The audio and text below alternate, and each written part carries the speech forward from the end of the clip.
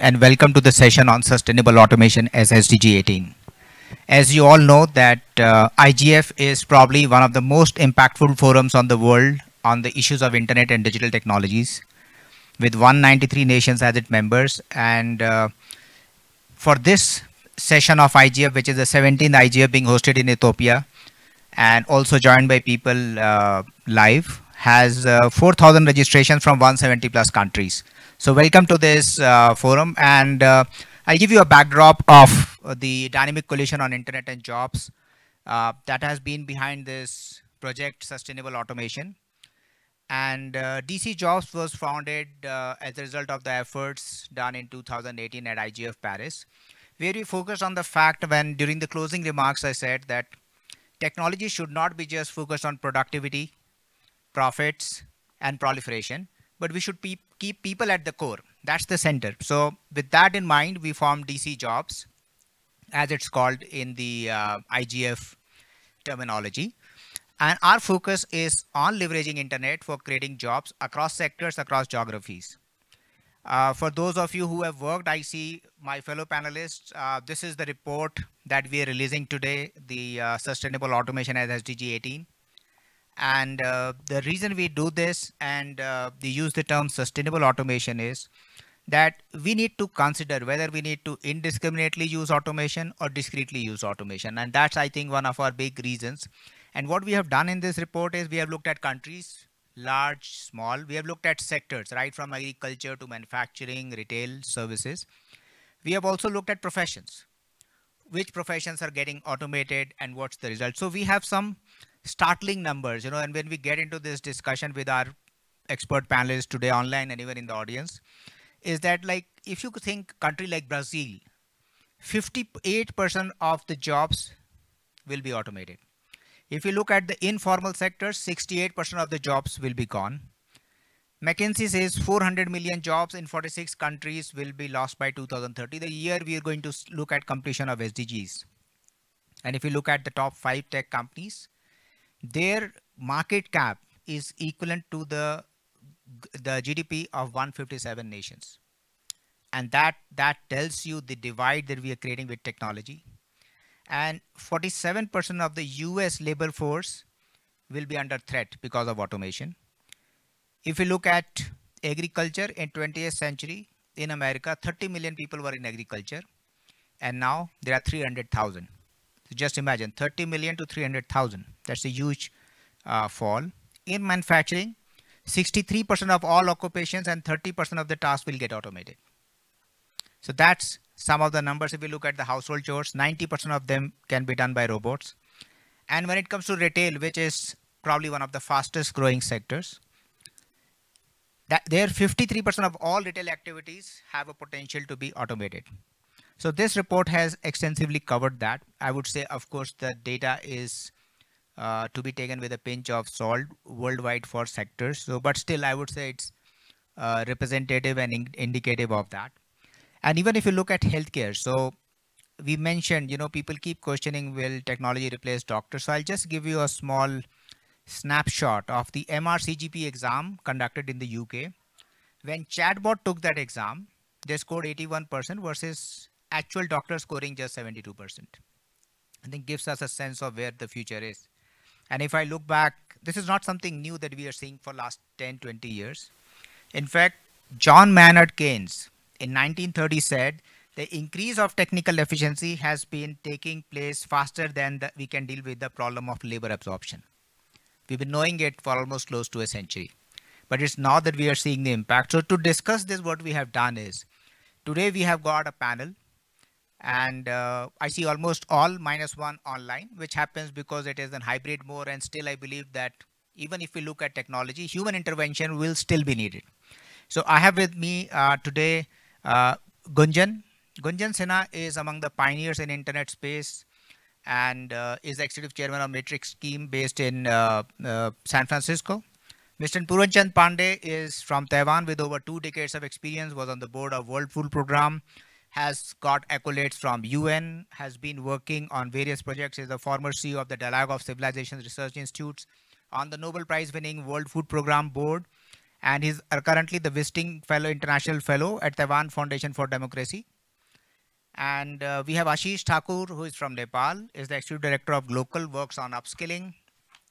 We have uh, Rishi Mohan, Dr. Rishi Mohan Bhatnagar, who is an author of the first book on enterprise IoT, was the former global delivery head at a tech company, and also the president and member of the board of Aries Communication. We have Mr. Suresh Yadav, who is the deputy head at the Secretary General Office Commonwealth and uh, he was formerly the OSD to the President of India and also formerly with World Bank in Washington DC. So we have quite a distinguished panel and Rahatul Jana from London who worked on this project that we're releasing today. So we have panel from across the world and we are going to shoot the questions to them starting with uh, I don't see Gunjan so I'm just going to move to uh, Dr. Rishi Mohan Bhatnagar. Rishi, you are the chairman of the IoT panel and will automation lead to net job creation or job loss? And what is your suggestion to the policymakers and the industry? And uh, given the massive layoffs that we have seen in the last month or so, would like to hear your views on that. And if my panelists can keep their views for five or six minutes initially, then we can go back in the next round. Thank you. So I'll try to put it in uh, five minutes, uh, Thank you very much for inviting me. It's a pleasure and honor to be here. So in 1800s, uh, when the uh, industrial revolution started in the Western world, all the people who spin the wheel in India lost their jobs. Okay, so whenever there's a technology change and whenever there's a technology advancement, there will be a transformation. There will be a disruption. I'm sure you know many of us who have some Indian origin will remember that in 1986, when uh, computerization of uh, railways was initiated in India, there was a huge, huge uh, protest throughout the country, and people were saying that we should not get computerization. So the answer is that technology will not stop. We'll have to change ourselves. And today, the uh, you know the huge export of IT that happens from India and the huge amount of jobs that gets created in India because of the IT is result of that revolution that started at that time. So my answer is, uh, first, we need to segregate between the current layoffs in the technology companies with the uh, automation. If you see the kind of layoffs that are happening, that are more because of the cost, you know, the growth at any cost. What was the business model? Was it a cash flow? Was people making money out of the kind of investments they had made? As a result, they had to stop and they had to lay off. The answer to the second thing, whenever there is a transformation, whenever there is a disruption, there will be a change in the skills required and there will be futuristic skills that will be required. There can be a lull where there can be job losses and people will be not knowing what to do. Okay. But there will be new kind of jobs that will be created. There will be new kind of opportunities and the business models that will be created we should never forget that the human mind is very mature and it is trying to identify things for themselves and they'll be able to do things uh, which will be beneficial for us. We do not want humans to go into a drain and clean the drainage. That let the robot do it. And so we will definitely require different kind of jobs to be done by the new technological things. And uh, so first, the loss of job layoffs that are happening throughout the world in the technology area to me are not immediate because of the automation, but lack of business model, lack of uh, uh, you know the uh, the growth at any cost. You know, I just want to grow at any cost, and that has resulted into the bubble getting uh, busted. Uh, whenever there will be new technologies, new futuristic technologies, there will be new kind of jobs that will be created. There will be new skills that will be required. People need to be ready for unskilling and skilling themselves for the new jobs. We have a forum, uh, where we are working towards uh, the future of future of future jobs. What will the future jobs? While we are talking about automation, we are talking about how many skills will not be required. Uh, 30 million farmers moving towards only 300k. Okay, where that 207 2.7 million went? What were the new kind of jobs that got created? what are the new kind of business models that were generated is something which we i think you know we should also think of and for the policymaker the last part of your question uh, Ranji, because there is futuristic jobs with the new technologies, how to skill people. In one of the states in India, there are 50,000 drone operators who are getting skilled. Okay. And these drones will be, um, you know, checking the farms for insects, for pests, and they will be giving reports back to the uh, centralized location. So what I'm trying to say, how many people might have thought that in the rural area, there'll be 50,000 drone skilled resources that will be required. Okay. And many of them might not be very technically educated, but now they are getting trained and skilled for drone management and drone uh, operations. So what I'm trying to say, there'll be new and latest jobs that will be created. The policymakers have to start thinking that they will not be able to stop the technology. You know, in India, Rajendra, we all know that the Startup India, Stand Up India, Skill India, all those kind of policies and the initiatives the government has taken just to ensure that the people will get themselves trained and skilled for the futuristic jobs.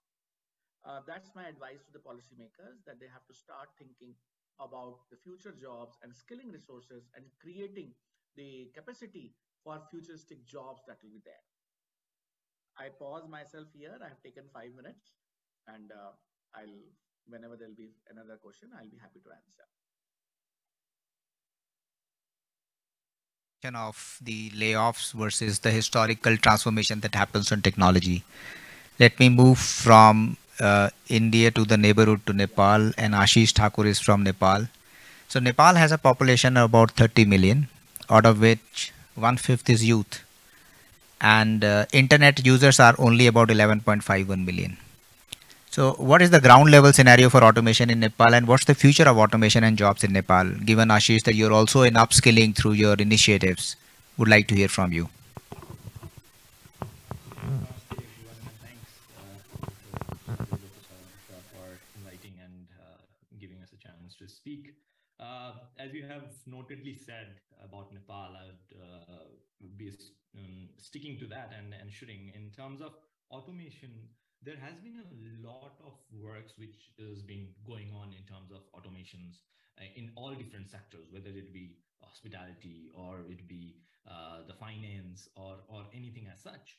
And we have seen a very good leap in few of these industries where automation has really helped uh, in terms of the industry. For example, uh, the financial uh, transactions the automation in financial transactions through the use of all these technologies have made a lot of ease in in in a lot of sense for banking as well. But at the same time as we are talking about jobs and future of jobs as well uh, it is uh, cutting it is helping in also cutting down jobs. In terms of industry it is good. But at the same time what i would like to relate it to is as a part of uh, um, research which was done by unicef back in 2019 which said that more than half of the students would come out of the schools without the skills needed for future jobs by 2030 and which we are seeing a very big relevance these days where the working population's gap is also much bigger in Nepal. It's not just about the skills, but also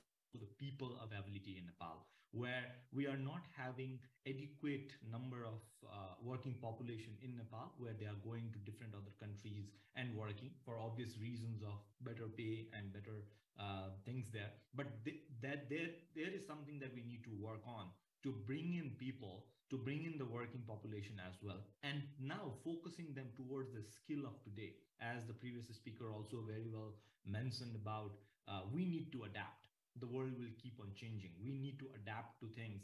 And there will and all of these are also creating new kind of jobs. It is not just eradicating few jobs but it is also creating new kind of jobs which we call analysts which we call copywriters which we call a lot of other technological intervented jobs where we have to have a person behind that technology to work on I see a lot of young people as we have been running different upskilling and reskilling programs as well in Nepal. Uh, I see a lot of young people who are getting into coding, who are getting into designing, who are getting into all sorts of different activities, which are equally or even more at times providing them opportunities and resources for themselves. So, what I see in terms of what what is happening and in terms of how it is affecting the future of job is there needs to be a job connectivity bridge for the academics. And that is the very niche area that we are working on. We need to keep on adapting. As a person we need to keep on adapting for the new jobs as well as the academics need to convert into a more applicable and technical and vocational education uh, at this time of academics so that these skills can be worked out i'll just give you an example. Uh, it's it's getting hard uh, even to find waiters in restaurant these days. And there is one restaurant in nepal uh, which was opened by uh, by some engineers passed out, engineering students uh, who passed out, and they have these robots as the waiters, right? So that is providing something to that, but at the same time, there needs to be the human intervention when we are going to a hospitality sector or a restaurant or a hotel. We need to have somebody who is uh, treating us, who is talking to us. So that intervention would obviously be needed. And those kind of things need to be reskilled and at a time upskilled with a lot of matters. So that is something which needs to be taken care with the use of vocational and technical education toward academics, as well as converting the, the earlier skills to a better and reskilled, upskilled human resource like accountants. A lot of things is done by system automated, but then there is a lot of analysis which is needed for better accounting systems. So these things need to be upgraded. And uh, we have seen even the government is trying to develop some new curriculums and we are supporting in, in, in that as well in Nepal. And but we do need to learn a lot from uh, as uh, the earlier speaker also mentioned about Startup India and Skill India. So there are a lot of things that we need to also uh, learn from other places. And uh, there has been a lot of research and uh, formulations going on in terms of bringing on uh, these aspects for future of jobs and and sustainable automation is perfectly fine but then we need to go and upgrade our skills we need to have system for youths to upgrade their skills. And that will for sure help in the future of job uh, that is upcoming. And that would also increase a lot of productivity and add a lot of sense. So yeah uh, for now i'll keep it uh, here and if there is anything i'd love to answer it again Ashish, it's good to hear your perspectives and the point you make about the skills and the system. We'll come to that in the later part. I'm now jumping to Suresh. Suresh, I have seen you working with the former President of India as his officer on special duty where you actually brought in tech for the first time at the President's office. Then you have been at the World Bank and now as a senior leadership team of Commonwealth, you look at 56 countries. So how do you see the stage of tech adoption and what would your views be on sustainable automation? Thank you. Thank you, Professor Gupta. And uh, first of all, congratulations to you and your team for bringing this very important uh, topic of sustainable automation on the global stage is very relevant, it's very timely. and um, I have gone through your report and it brings out very important facts and figures that where and how things are happening. But the most important thing which which I find from your book is about the shift of power, the shift of power from the government sector to the private sector. You have rightly pointed out in your report that how the the capitalization, market capitalization of the Apples and other companies are much much higher than many of the countries combined together, which you put the number 179, something like that. So this brings a perspective that how much control the governments have on the sustainable automations. So whether they can they can define the directions, whether they can decide where they want the automation or where they do not want the automations. So that's a big question mark, particularly if you look at the the requirement of the governments for the resources from the international organization, from the private sectors.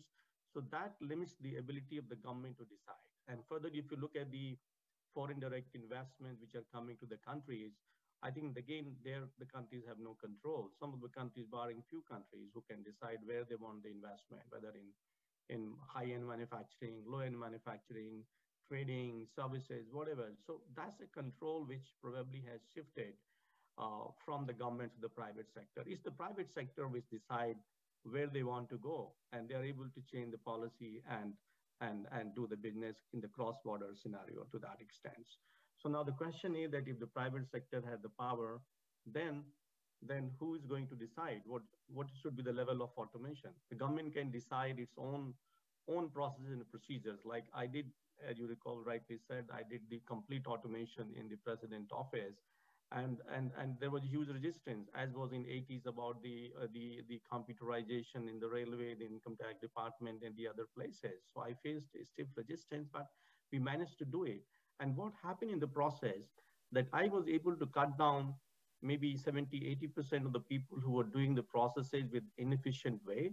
So i i got less number of people to do those processes. But at the same time here i realized that the number of people needed in the other processes has increased. So when I look at the total, you know, the sum, I found that it was like a zero sum game. So similarly, if you look at the global context that if country X is adopting a very high level of automation, so it's increasing the productivity, it's increasing its profitability, it's increasing its competitive power in the market. So there is a job loss in country X. But in the process, if you look at the the outsourcing model, then that company is outsourcing certain processes and the procedures to a country Y. Maybe the accounting, maybe the contract manufacturing, maybe the contract software development, etc. So my question will be that if we start looking the world economy as a whole, instead of looking at country-specific scenario, then the results are different. Then at the global level, we will say that the technology adoption in one of the part of the world may be leading to a job creation in the other part of the world. So that's the question. Like if you look at the outsourcing, which India got benefited from the BPO or the legal outsourcing or the other services. So we, if we start looking at things in a slightly different perspective, then we have a different results. Overall, I will, I will also echo the sentiment that uh, technology will find its way, whether we like it or dislike it, the technology has the power of disruptions. Neither the government can stop nor the individuals can stop. The best way is to adopt them. The best way is to prepare yourself for, for those changes. And now the shift has to be from continuous and lifelong learning to continuous and lifelong skilling so that you are able to adopt the to the oncoming changes through the technology and you are able to adjust, better adjust to those emerging ecosystem in the working space. And that's why the discussions on future of work, future of jobs, future of the organization, everything is happening because people know that they can't stop the technology. Look at the crypto. People are skeptical about the crypto, but look at the the the, the impact or look at the the penetration which is happening. So it's coming in the parallel to the global economy, if not as a part of the mainstream economy. So I will say that this is inevitable. This is bound to happen. The only response we can have is to collaborate and to prepare our young minds, young people, and the people who are working in the present scenario to be ready to adopt those changes. That will be my message. I'll stop here. Thank you, Suresh. I think very important point that technology will find its way, whether you walk against it or whether it is your call. I mean, but technology is going to be here and it's going to be transforming the sector it touches. And also the fact that the power is shifting from the government to private sector, which is reflected in our reports too, like the the valuation of five companies is equivalent to the GDP of 157 nations. It's disproportionately powerful. Now this brings me to one of my colleagues on the panel, Ratul, who actually worked initially on this report. She is still studying in the UK. Ratul, what would be your view given the fact that you are doing your masters and you will have a, a plan for your career given what we are discussing today? How do you see sustainable automation? What's your view on it? Uh, thank you, sir, for firstly giving me this opportunity to important topic today. So, like uh, while I started with the study, I didn't know that machines would be impacting to a such larger extent. And recently I have moved to UK. So the things here is really different. Automation here is really high as compared to India to find part-time jobs like stores are automated it seems pretty tempting with those automated machines where you don't require any human assistance like the jobs would that were done manually people that were traditionally performing like human tasks and all now are done by those machines. So you don't need any um, like human intervention or uh, like uh, any human assistance. So there would be machines to guide you. So um, the tasks that were performed manually earlier are now performed by uh, by machines. So you need uh, certain kinds of skills to adopt those changes and uh, in order to understand those machine languages people with low skill or like um, like they are not familiar with those machines are really facing it difficult to cope up with this present uh, scenario the workplace.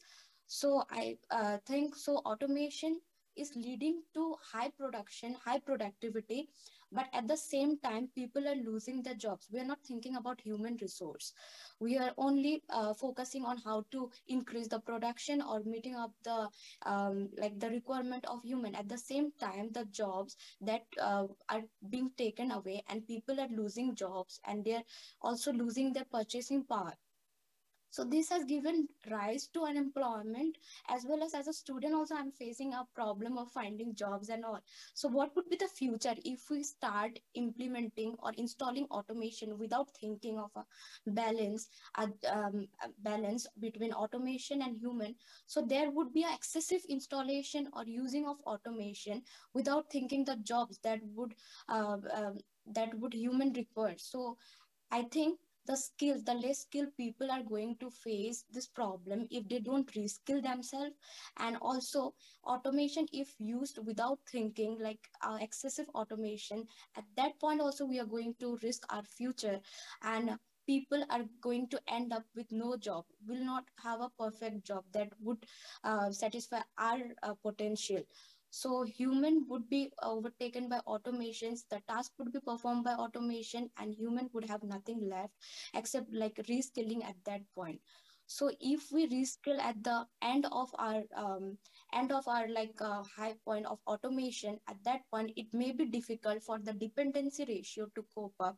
Countries uh, like having high dependency ratio even some countries, the developed countries who has a good uh, less population than high populated countries like India and China, would really find it difficult to uh, like cope up with this automation phase since they have to take care of a larger population.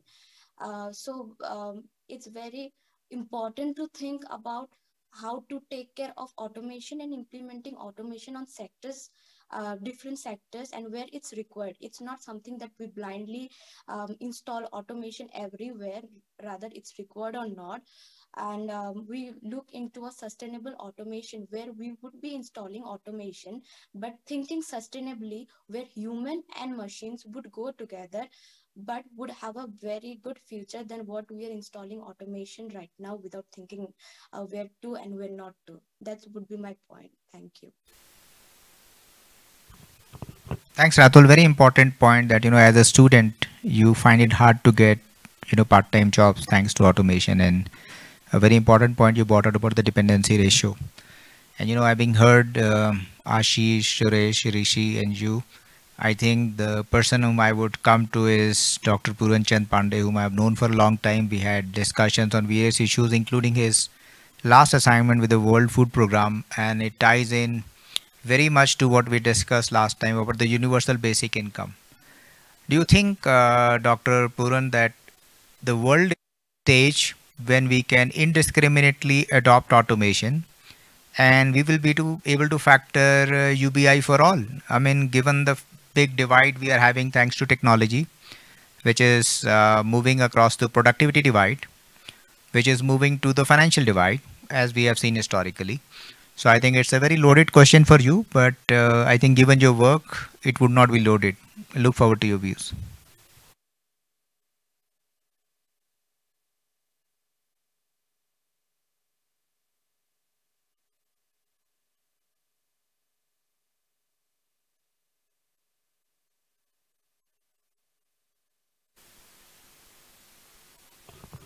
I think you're muted, uh, Dr. Puran. You need to unmute. We are not able to hear you. Am I audible now? Yes, you are. Okay.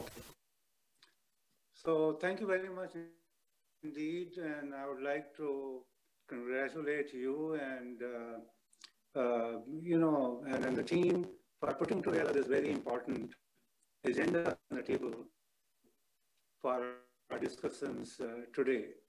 I have long held the view that there's nothing right, there's nothing wrong.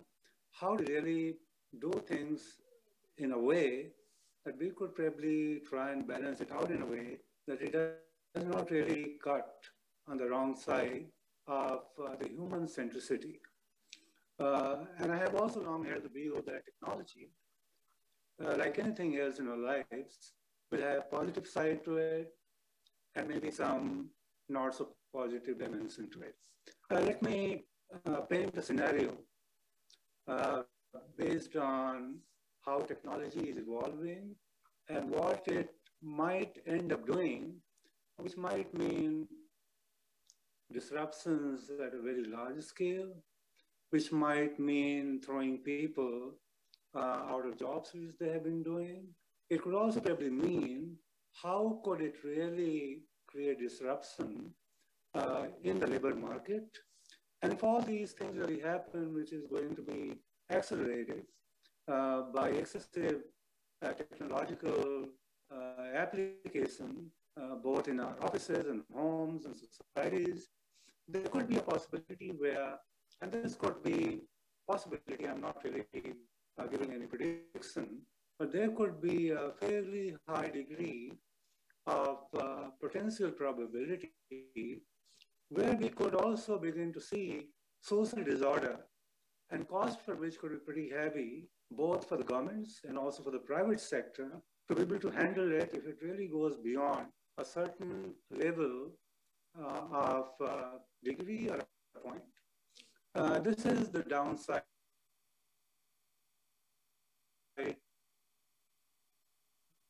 What technology Now, what is side of the technology is the technology makes our lives easy.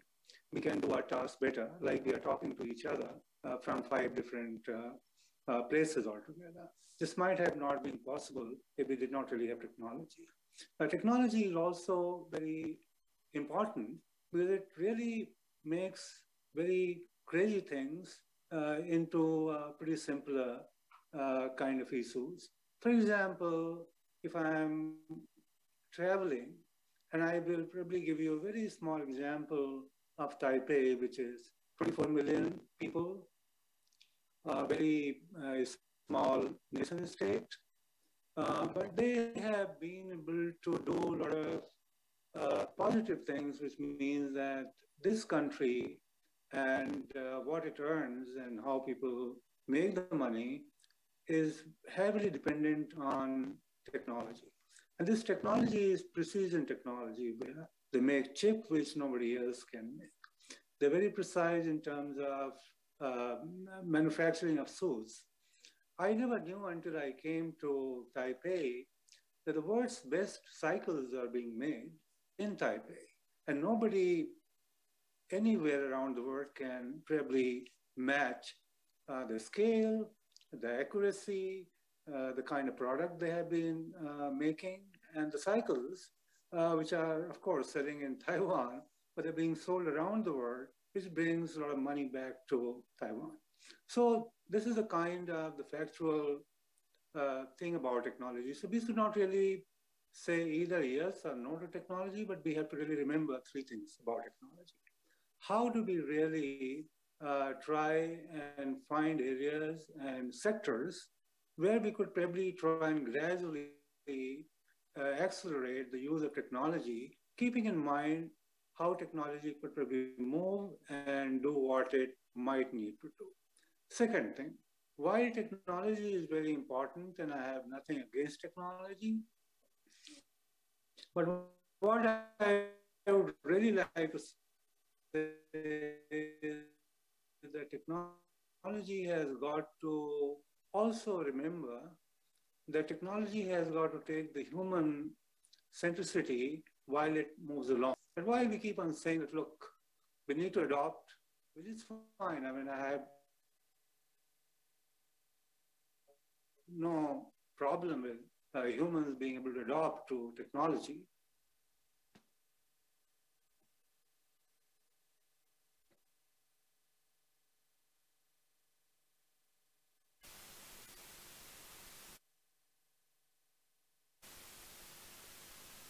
Think we lost him. Uh, we'll wait to get him back.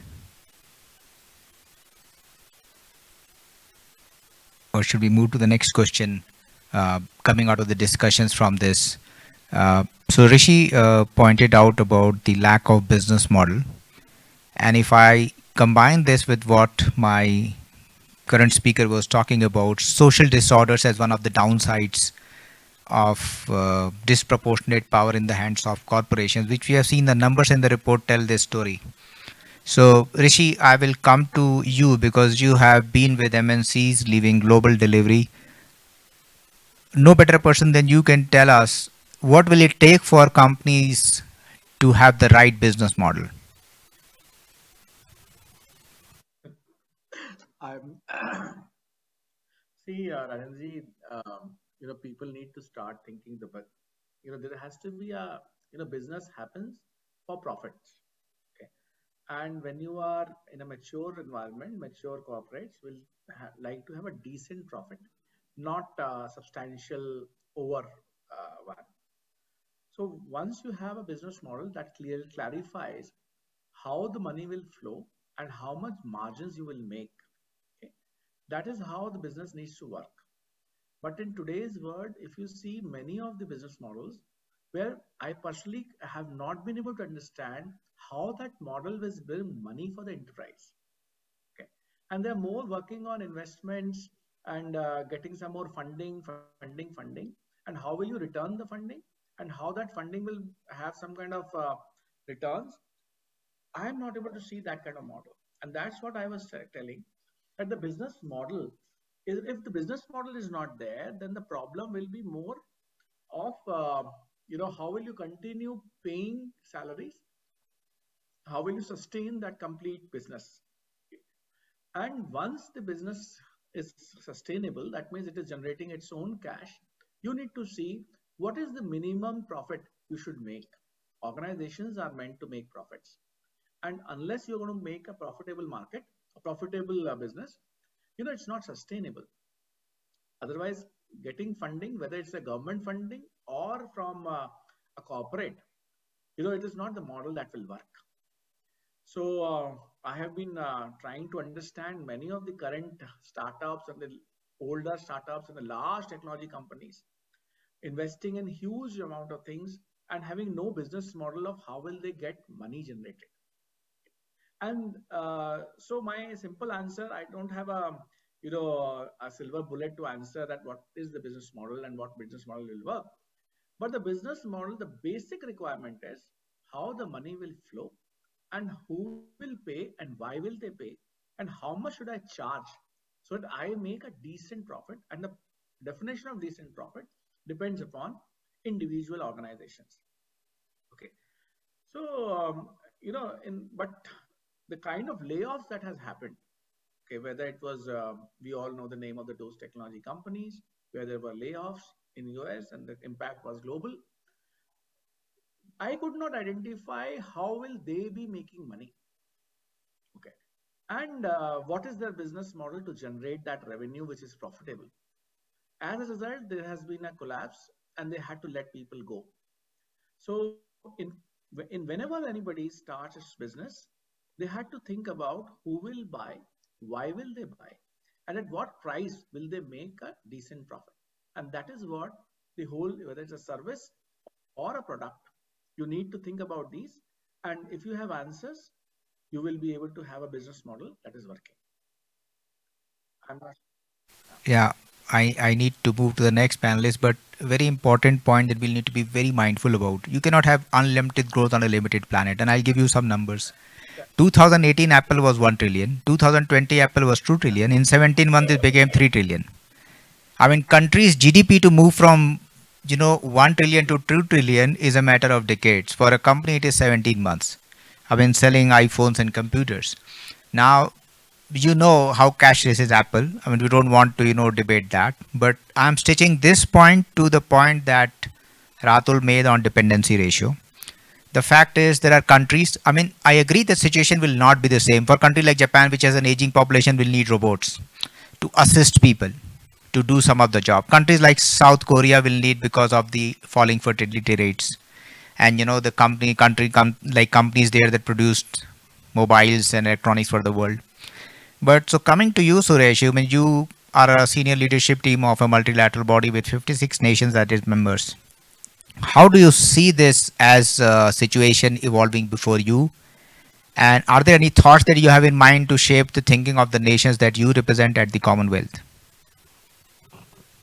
Thank you. Thank you, uh, Professor Gupta, for this question. And uh, let me first thank you for inviting the young colleague Ratul, who has been a part of the new generation and the generation which which will be most uh, part of the receiving end of the whole cyclic chain which world is seeing. And it also brings me to very other important point that as far as the climate is concerned, we have been talking about intergenerational equity, that what is available to the present generation should also be available to the future generations.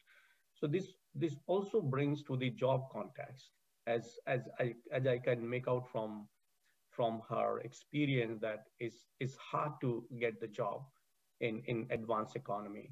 But it also points to another very important factor that the job growth and the job opportunities are going to shift from advanced economies to the developing economies. The jobs will be there where there is a problem, and the problems are there in the developing economies. So now the educational system is there in the advanced economy, the job opportunities are going to be there in developing economy. So how to create a match between two? So I think this will require a great reset in terms of the whole uh, industrialization process, the whole educational systems, and also the mindset that the money lies today in problem solving. Like if you see now India, the third largest ecosystems in the world in terms of the startup, because we have a lot of problems. So that's where the opportunities lie. That's where the profit lies. So this is something which we have to prepare the future generation to ensure that they becomes a job creator rather than a job seekers. That's a fundamental shift which, which countries have to see. Now, coming back to my own Commonwealth of the nation, which is, as you rightly pointed out, is a 56 countries uh, member with 2.5 billion populations and a 13 trillion dollar economy of these 56 countries and more importantly, which is relevant uh, in this context, is that 60% of the population of these 2.5 billion is under the age of 30. So the biggest challenge which I have been experiencing while talking to the various, uh, the heads of the government, the ministers and everywhere is that how to engage the youth, how to mainstream the youth in the whole process in their own economy, in their own country this is the biggest challenge because many of those countries are very much concerned about in the country. If you can't get youth the, the, the, the you know, capacity to work, the availability of the jobs to them is a big, big challenge as far the peace and security in the country is concerned. So what we have been doing is that, as you know, in the Commonwealth, we have uh, huge opportunities of trading within the Commonwealth countries. And that is an advantage because all these Commonwealth countries are, are having the same legal system, the same rules and procedure, and almost the same kinds of languages. You know, everybody understands the English. So these countries understand uh, uh, those uh, things in a very, very similar manner. So that gives an advantage that if you're trading within the Commonwealth countries, if you're investing within the Commonwealth countries, you have 21% advantage vis-a-vis if you trade or invest in a non-Commonwealth country. So we are trying to enhance that 21% to 30% by using the whole digitalization process in the Commonwealth countries so that there is more trade, more investment within Commonwealth countries and creates more opportunities, particularly for the small and medium enterprises, which are considered to be the job creators. So we cannot control the big firms, which are like the Apple, Microsoft, Google we are talking about. But can we make our young people as a part of the ecosystem, which is MSMEs, to become an entrepreneur and create you know jobs? Each each small um, and medium enterprise enterprises in India average are generating jobs from 4.5% to 10, 10 people, you know. So that's where the power lies for the countries which are still in the developing stage. And to that, we had started massive skilling programs for the university graduates. So they are skilled in a way that they can use those skilling programs to get the jobs as well as to start their own entrepreneurship programs. Secondly, we have been trying to to reskill the government officials. As we said that technology will find its place, whether it's the private sector, the government. So we can't stop that how artificial intelligence is going to change the life of the people, whether working in the government or the private. So we have started preparing them through the skilling programs. We have launched AI for the public officials in the in the Commonwealth countries, and we are trying to ensure that they are fully prepared not only to adopt the AI, but also to understand the plus and minus of the AI. Where is the problem? How their countries are going to face the challenges?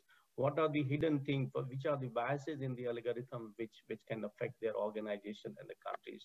So these are the, some of the initiatives which we are trying to work and trying to ensure that the, the future generation, particularly which have the maximum stake in their own country, in the global peace, in the global order, and for making this planet very safe are part of this whole agenda for scaling digitalizations and everything. And I'm sure that if we can do that, we will have a very resilient young generations who will be good for themselves, for the country, as well as for a very sustainable and habitable planet. I'll stop here. Thank you. Here, one side debating and discussing sustainable automation, but one thing I also realized that yes, technology is not going away. So yesterday on the main session, um, the technologies of the future, um, I announced um, Project Create, which is about collaborating to realize employment and entrepreneurship for all using through a tech ecosystem. Because certainly the current models are making corporations stronger than nations. And you know they will definitely prevail upon and change the policies. And the point you brought about the msmes and uh, the tech envoy of the un was on my panel. And he appreciated the fact that you know we should talk about job creation because that's something that people don't talk about. We always talk about profitability productivity. So this will be one um, question to you maybe putting you on the spot. How would you see commonwealth supporting an initiative like create? This is under the auspices of our DC jobs at uh, IGF.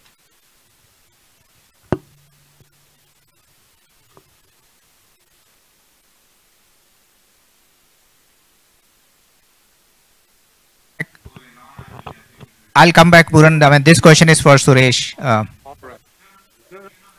yeah, yeah, I will, I will. Yeah. Yep.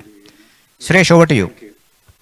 Yeah, thank you, thank you, Professor Gupta, and I, I really admire your uh, capacity and uh, the ability to innovate your thinking and come out with innovation solutions. As I said in the beginning that the emphasis for creating jobs and particularly the jobs by using the appropriate technology. I'm neither for the technology nor for against the technology. But if you recall in 70s, India coined a very important term, how to use the appropriate technology. I used to study in the IIT Delhi and the focus was that which energy is suitable for India's need at that point of time. So, so this discussion has been for a very long time that it should not be the mad race for automation that if some country is doing, I should do it, but what is my local need? Am I happy with a simple solution of, of the, the problem solving or, should I go for blockchain or crypto or, or other so-called fancy products in the market? So that's the very individualized uh, country solutions.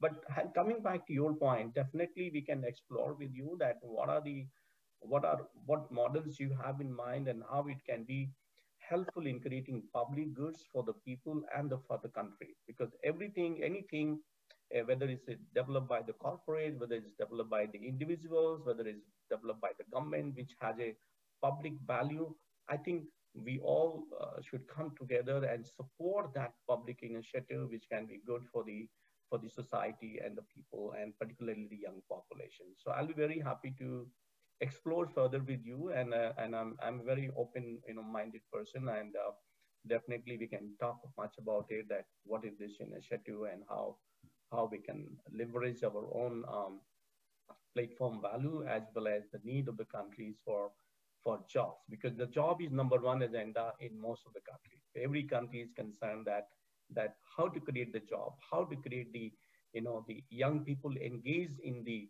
the meaningful economic activities so that they are not only a kind of a resource for the countries uh, rather than becoming you know kind of a drain on the country country. So that's that's a question and very very um, uh, I mean uh, thoughtful of you to go on this line and please always think that the like-minded people who wants to see a very good world, a safe world, a safe planet will always be with you.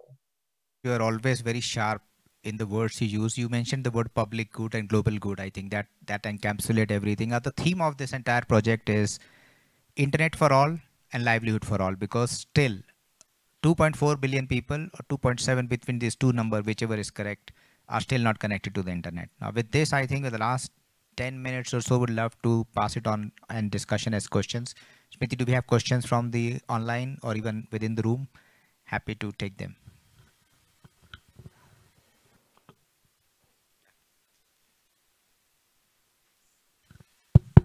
Uh, yeah, we have questions online.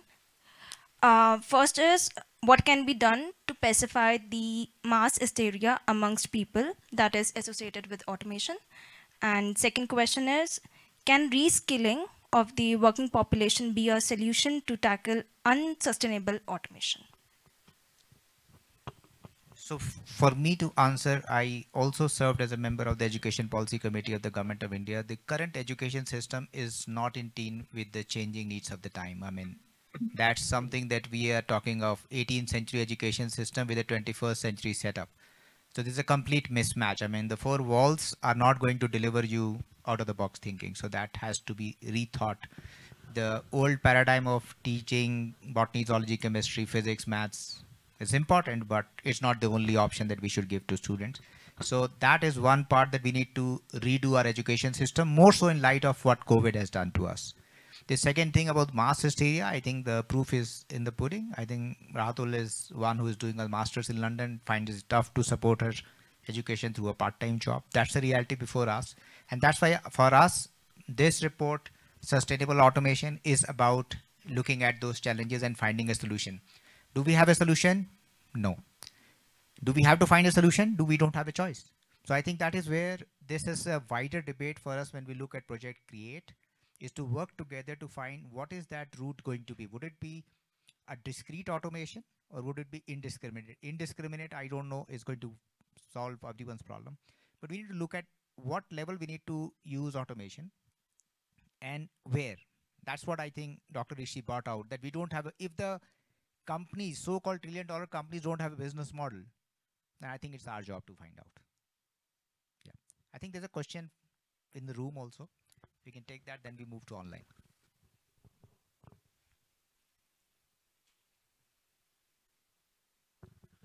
Uh, yeah, my question was pretty similar to the second one, um, but I'll try and frame it a little bit differently. Um, when you were talking about, uh, for example, 99% of agricultural workers are going to be unemployed due to automation. Uh, when we're talking about reskilling, um, obviously it's impossible to give like a proper estimate, but how effective do you think that's going to be for this 99% of people in this field? Uh, can you really reskill 99% of people who are losing their jobs? So, you know, I, I can give a perspective from my country's perspective, you know, where we have a very diverse 36 states spread across 1.4 billion population and different parts of India are looking in different ages. You know, some have the most advanced like in Bombay, Delhi and metros. Some are looking living in semi-urban areas, some in rural areas. So it's a complex challenge. But the question is, what are we focusing on? We are trying to focus on metros into smart cities. Is that a solution or should we look at smart villages? I mean, that's that's the kind of mental shift I think one of our expert panelists talked about it. We need to redo, rethink the way we look at things. So, but I would actually like if someone from my panel, I have uh, Dr. Puranchand Pandey, who used to be on the board of World Food Program. I'm sure he's looked at topic in much more depth, given the fact that I was looking, I mean, this is the data that's there in this report, that we'll have to enhance our production by 70% to meet the food needs of 2050. Can you imagine that with the shrinking force? There is no 3D food, you know, that you will get without growing the actual biological nutrients. unless we try to create something out of thin air. So I'll actually pass it on to Dr. Puran Pandey if he wants to chip in or someone else on the expert panel online.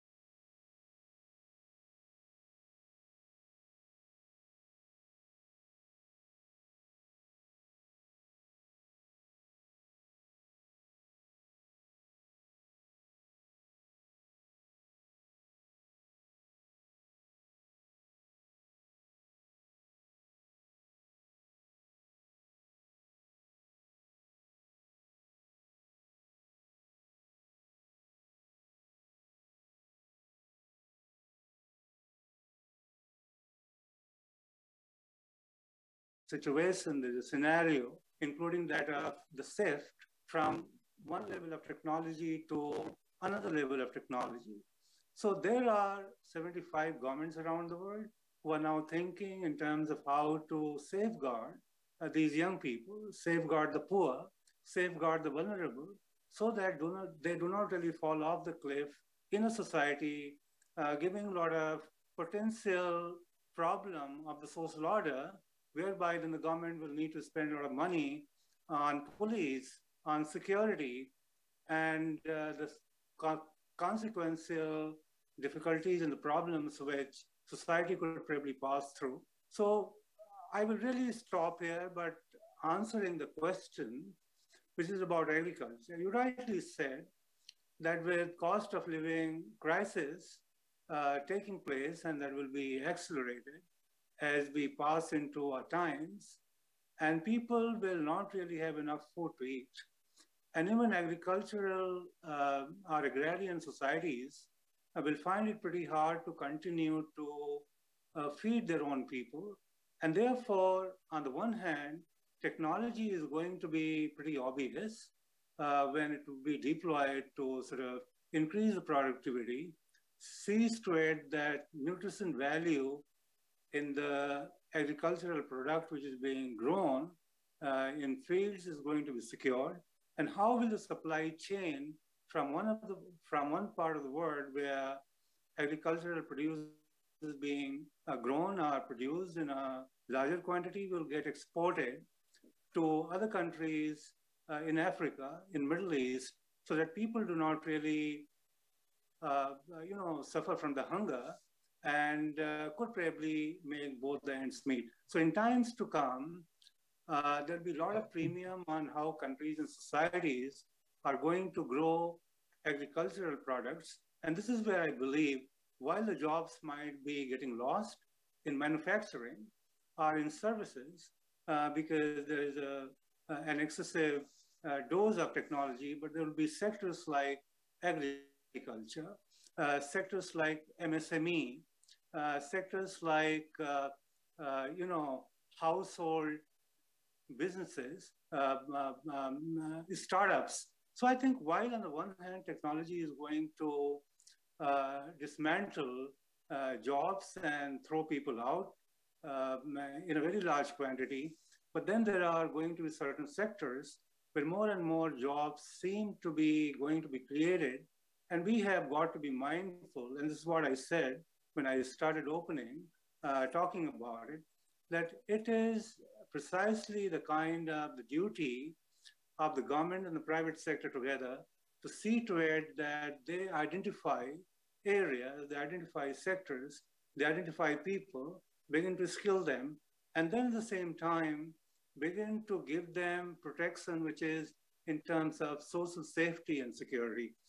Unless and until these things are going to be put in place and put in place as quickly as possible, we could probably see technology uh, not only displacing people from several sectors uh, together, but also bringing a lot of social disorder, which might be a very, very difficult proposition for anybody to be able to control beyond a point in time. And therefore, it is not only being able to adopt to technology, but also how do we really see to it that we take away uh, the downside to technology and get them to mitigate, and also create or build to stop here beyond our schedule. So just 10 seconds to everyone on this important question is like all my panelists should sustainable development goal like goals have sustainable automation as SDG 18? Yes or no? Just from each one of you before we wrap the session.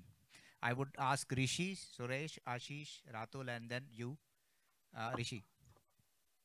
Yeah, definitely yes. Sustainable automation is there, and we have to work on it. Yeah. Yeah, thank you. I think uh, sustainable automation is very, very important. But but whether to go as SDG 18, you have to see SDG 9, whether that sustainable industrialization can cover that. And, and I think it's, we are too late in the game because we are already halfway past. So whether, uh, whether that can fit in. Yes, and as Suresh said, um, focused on uh, decent jobs and industrial automation, industrial sustainable industry. That is something that. Yes, sustainable automation should be considered as SDG 18 this is an important area and uh, sort of uh, goes along with SDG 9. And as Suresh said, you know, we are already uh, late in the game uh, because UN system to be able to go back and try and include another goal as uh, any other goal would be um, very difficult and almost impossible. Room like, would you raise hands or hands down to saying SDG 18 or SDG 9 merged with sustainable automation is the way? Just show of hands should be just good. Okay. Okay. Thank you. I think an interesting discussion. This is just a primer for debate. We hope that uh, going forward, we will uh, work on it. And I look forward to engaging with you. And thank you so much for joining online. Have a great day or great evening or good night, probably for those who are joining across the world. Thank you.